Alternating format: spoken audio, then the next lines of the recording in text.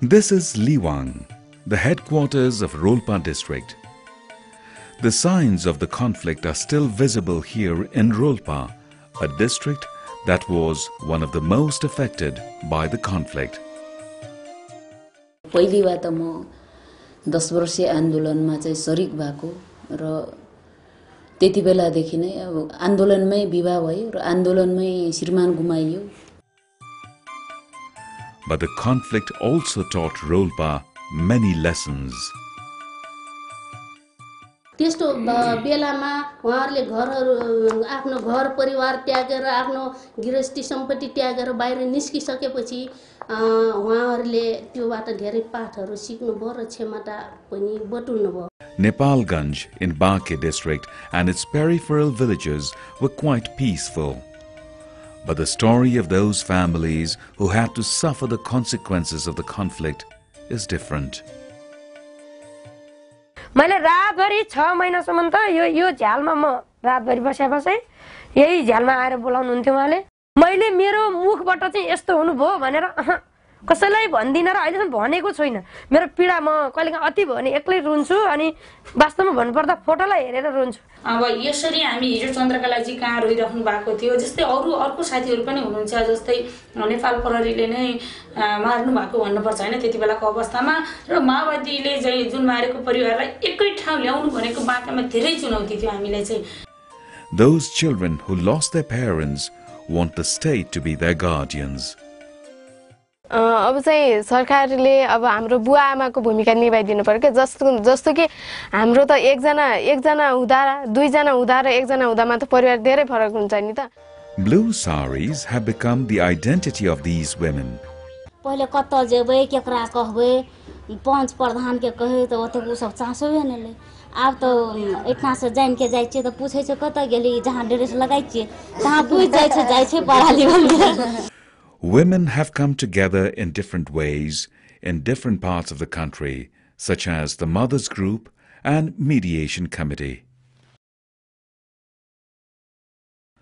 After the peace agreement, the politics of the country has taken a U-turn. Everyone is taking the issue of women's rights seriously. 33% women are now represented in the Constituent Assembly. In order to provide relief to victims, reconstruct the destroyed physical infrastructure, and to implement the agreement in the peace deal, a newly formed Ministry of Peace and Reconstruction was constituted. In order to address the problems of the conflict, peace committees have been formed at the local level. A national plan of action has been endorsed in order to implement United Nations Resolutions 1325 and 1820 passed by the United Nations Security Council. We all need peace. Everyone loves the path of peace. For this, the families who are victims of violence are trying to forget a lot of things, but the country and society should not forget the permanent loss that they have suffered. Women are stepping forward for peace and justice.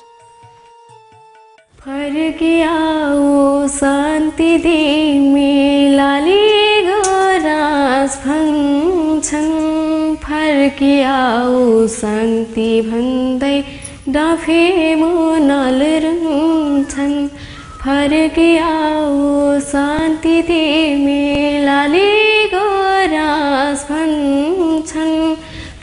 फर्किआऊ शान्ति भन्दै डाफे मुनाल रुन्छन् पुछेका सिउँदोहरू तिम्रै बाटो हेर्छन् असहाय टोरा पानी तिम्रै काख खोज्छन् फर्किआऊ शान्ति तिमी होइन भने बाथ लाग्ला पिँढीको फर्किआऊ शान्ति तिमीलाई गरास भन्छन् फर्किआऊ शान्ति भन्दै डाफे मुनाल रुन्छन्